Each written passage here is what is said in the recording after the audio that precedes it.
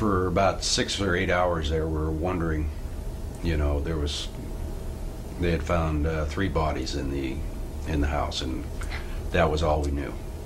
And uh, we thought it was uh, Johnny, Tina, and my sister. And then after about, after they brought the bodies out, which was probably five or six hours later, they brought him out back, I had to identify him, and Tina wasn't there. That's when I found out Tina was missing. This was another boy that didn't even know who he was. So, uh, it was,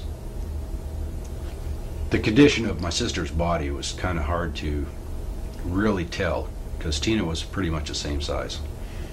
And uh, I went home and they took the bodies to the mortuary. I went home and it was probably two hours later I had to go back down and identify her again just to make sure it wasn't Tina. And uh, that's when we found out Tina was missing.